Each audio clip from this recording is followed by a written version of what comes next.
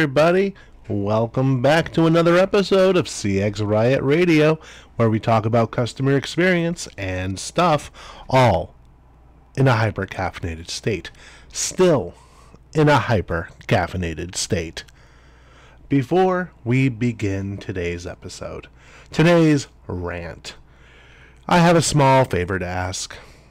If you could find it in your heart to like, subscribe, review, comment, and share the show so we can make the show grow, I'd be much obliged. You know, I've done it for a lot of you with your own shows, with your own things. Let's pay it forward a little bit. Let's do it. I'm just kidding. You don't have to. But it would be nice. So, I'm going to keep today's uh, show light and tight, mostly because I want to leave the studio.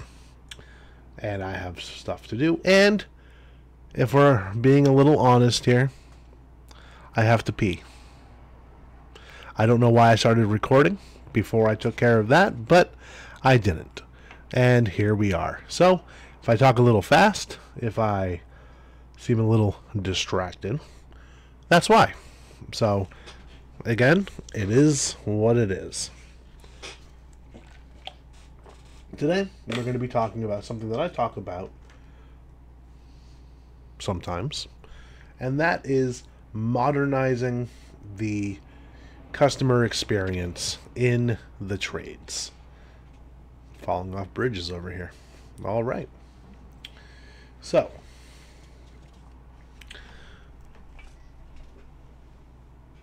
there's a running joke in the trades.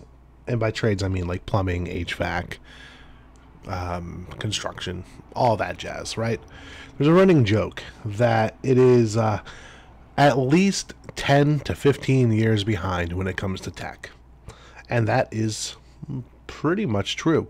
There are some outliers, there are some companies that utilize the newest tech, but that's usually one or two people within the organization who have adopted it and then kind of spread it around. It's not it's not universal, right?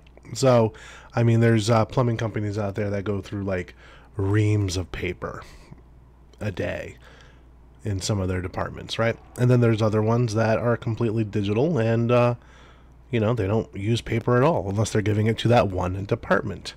It's okay. I still like you. But let's talk about technology and changing consumer behavior, right? So both tech and that changing consumer behavior have created a shift in what customers want. Customers customers want a lot of things now, right? The customer expectations are rising. We as business leaders need to jump into this and elevate the customer experience like never before. It's just something we have to do. We have to meet the customers where they're at. And we have to be ready for the next wave of uh, tech improvements. So, five years ago, maybe, a handshake and a promise might have cut it. But today, that's ancient history customers demand more. They demand convenience, transparency, personalization, and a real connection that goes beyond just getting the job done. First up, convenience and accessibility. Your customers want to schedule their plumbing or HVAC service as easily as they can order a pizza. When was the last time you picked up the phone to order food. I don't mean using an app here, all right? I mean actually calling a restaurant. And uh, yeah, if you're like me, and I know I am, it's been a while. In fact, it's been probably closer to a decade and a half since I've done that. Ever since they launched the website or the mobile app ordering of pizza, I've been using that for a couple of reasons. One is easier. I don't have to call Two, they can't misinterpret what I say or mishear it. If I say pineapple, they're not going to put pepperoncinis, right? Or vice versa. It is what it is. So, why do so many plumbing and HVAC companies only offer voice for their customers? That's crazy. Or, you know, if they're cutting edge, they might have a form fill on their website. Cool. Nito Torpedo. Awesome. Great. Grand. Awesome sauce. Online booking, mobile apps, real time updates. These things are now the baseline. It's the minimum of what you should have. If you're not offering those, you're falling behind. And I am of the opinion that there are th- that you should give the customers at least three options of how to do business with you initially. Right? Voice, get a human on the line. Two, chat, right? And that can be either like a live web chat or a SMS. And honestly, at this point, I don't care if it's uh, you know, a human being or a hu- or a uh, chatbot being assisted by a human, whatever, right? Who cares? As long as it's an option. And the third one is like a self-serve. You can book directly into the system, select your own time, good to go, type thing. So those three at the very least. I think the app is amazing, especially if you can tie it in and have things on that app like online scheduling and online bill pay and being able to track where your service technician is, kind of like an Uber type deal where you can see them coming on the map to your house. I think that would be amazing. So, and I would definitely use that if I wasn't so DIY and uh, a little technical handy. So, anything big? Yeah, I'd, I'd use that. So, so, um, things that you should do right now, if you can, and if you don't already have these, is online booking. Implement an online booking system on your website. Make it seamless. Make it part of the website. Um, Schedule Engine does this very well. So, uh, I think uh, I don't think I know. Schedule Engine got bought out by Service Titan, or they merged with Service Titan. Something happened between them and Service Titan, and now Schedule Engine is being turned into Schedule Pro or Scheduling Pro. One of those. All I know is that it's going to be the same thing, and the price is going up. So, but it's still a very, very, very good tool, and you should look into getting something like that or that. Okay. Um, if you can, get a mobile app with those things I just mentioned, right? That's pretty cool. So, real time updates ensure your system provides real time notifications to customers, like a dispatch notification, right? Hey, so and so is coming to your house right now. Oh, they've arrived. Look at that. All right, and I've already mentioned have at least three options for booking an appointment voice chat or SMS, and a self serve scheduling option. Now, if you want to have one of those cool voice AI things on there, here's a uh, caveat. All right. So, because people aren't really into talking to robots yet, have it as a choice. Do you want to speak to a human? Do you want to speak to our artificial intelligence assistant, Jerry, or whatever, right? or have it like have it instead of uh, I know a lot of uh, trades companies will have an answering service if uh, their if their customers are on hold too much. Like let's say uh, all the uh, company's CSRs are busy, or they all decided to go to the bathroom or something, or you know for some reason they all got off the floor to go to a meeting because nobody thought maybe someone should man the phones. I, I don't know. I guess it could happen. Um, and uh, normally that's when the call would go over to an answering service. These answering services are really hit or miss. There's some good ones, there's some really bad ones. It is what it is. Um, but have the AI voice bot connected to the API for your CRM so they can, uh, you know, book right into the system through it. have that as a fallback option instead of going over to an answering service. And there's uh there's some options out there. Um, yeah, just look or ask on LinkedIn. You'll be spammed for weeks. So, yep. So next is transparency. Right, that's what we're going to talk about next. Still have to pee. The days of vague estimates and hidden fees are over. Today's consumers want detailed information about pricing, timelines, and the scope of work. They want to know what they're paying for and why. It's all about trust. Be upfront, be clear, and watch your customer loyalty, the CLOI, soar.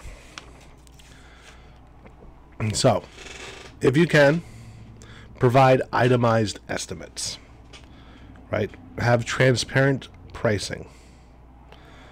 Commu- communicate clearly about timelines and any potential changes in scope. Now, some of that you legally have to provide, right, to a certain extent, depending on your state. So, do that, and you'll be good. Just if you're not there, pretend you're in California, follow those laws, okay? Uh, then there's uh, the next step is personalization, right? Are there any one size fits all solutions? Not anymore, bucko. Customers want their unique needs addressed with tailored services. Use data to understand your customers, anticipate their needs, and deliver solutions that feel custom made. Yeah. So, use your CR- CRM system to gather and analyze customer data. Huh. Personalized recommendations offer personalized recommendations based on past services and preferences. Once your uh, customer database gets to a certain number, there is so much information that you can glean from there. It's amazing. And then train. Train your staff to recognize and respond to individual customer needs. You can utilize PRIZM PRIZM, not Prison, PRIZM, and other customer segmentation tools to define your customer base and train off of the findings on that. So PRIZM is pretty cool. Like you have the gray power, the young digerati, and other segments that you can tailor your marketing and your customer service to. So uh, digital capabilities are crucial. Strong online presence is non-negotiable uh, user friendly websites, seamless online booking systems, which we've already talked about, and active social media channels. These are your digital storefronts. Make them inviting, easy to navigate, and reflective of your brand's professionalism and expertise. And depending on the social media platform, have some fun with it. All right. So, have a professional website. Invest in a professional, easy to navigate website. Yeah, it's uh, 2024. It is current year. Uh, you should be doing this anyway. Um, ensure your site is mobile friendly, of course, because not many people anymore are sitting on a desktop unless they're playing a video game or they're at work. So, and if they're at work and they don't work at a plumbing company, or an HVAC company, they're probably sneakily checking on their phone. So make your website mobile friendly. There you go. Uh, and then social media, maintain active social media profiles to engage with customers and showcase your work. Throw some memes up there. It's fine. Just do it. So, uh, professionalism and expertise, of course. Uh, customers expect your technicians to be not just competent, but be the best. Let's face it, these things are expensive. Act like they are. They want skilled, knowledgeable professionals who are up to date with industry best practices. Continuous training and education are essential. And if you're not doing that, what are you doing? You should have a training center or a training program, and it should be uh, uh, if you can't afford to do it weekly, do it monthly, and if you can't do it monthly, do it quarterly with monthly reminders. Okay, so um, yeah, and then sustainability. You know, people actually give a damn about the environment. Supposedly, I mean, There are some cities around me that only have paper straws. You know how awful paper straws are as a consumer? Especially if you get something like a smoothie. I don't you can't finish the smoothie before the straw finishes itself. I I don't know. And then you have like paper slurry in your smoothie. It's it's ridiculous. It's stupid. I would sacrifice a turtle to have a plastic straw. I don't know. That's me.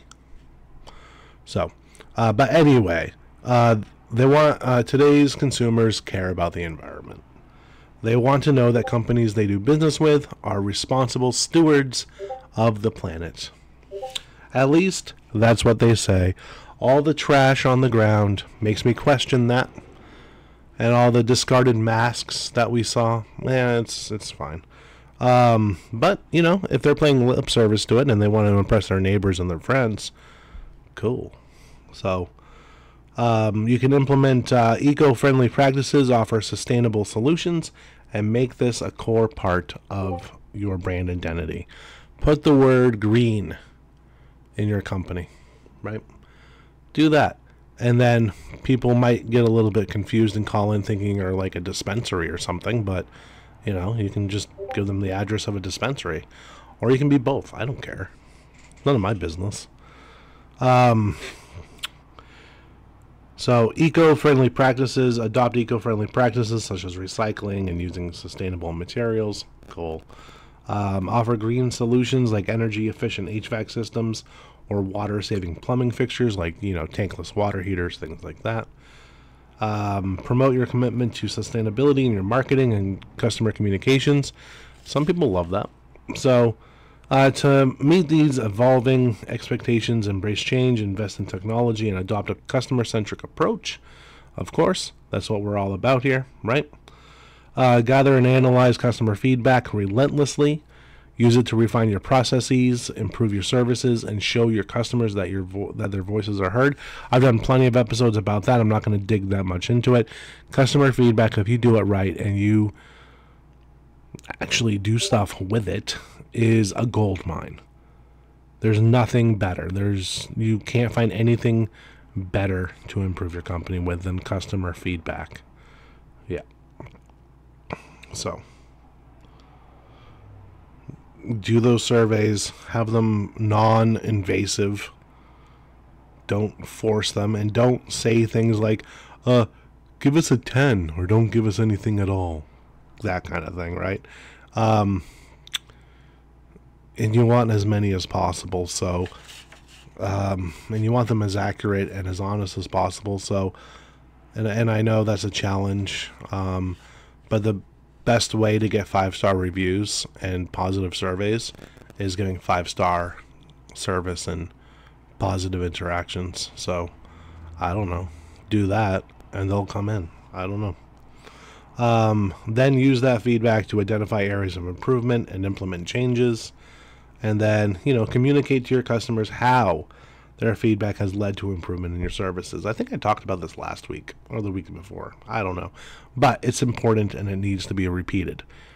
Yeah. So the future of the trades is bright, but it demands adaptation. We can no longer be 10, 15 years in the past when it comes to technology. We need to be on the forefront. I just made a joke on the Service Titan page that I thought they were lacking. I thought they were slow in implementing automation and uh, AI. They're not slow compared to the rest of the trades industry. Yeah. So, it is what it is. Um, those who embrace these changes, who innovate and prioritize the customer experience with these things, will thrive. They won't just survive, they'll thrive. And that is pretty cool. So, let's do that. Let's jump into modern day, into current year, and maybe be a little, maybe a couple months ahead of everybody else. So, yeah. Yeah. So, uh, here's a reminder to uh, buy my book, the Blue Collar Call Center. And if you have that one, then buy the Blue Collar Call Center field manual. It's about rebuttals. Hundreds of rebuttals in there. At least. At least a couple hundred. Maybe 150. I don't know. And also, the other one that I have, the business fable that I keep forgetting the name of, which is bad because I wrote it, but Steel and Soul. A, cu- a journey of customer centric enlightenment. They're on Amazon. They're cheap. Yeah. A new one's coming out soon. So I'll keep you posted on that. May all your dreams be beautiful. And may you sleep soundly tonight. Now go drink some coffee. I guess. I don't know. Bye. I'm going to go pee.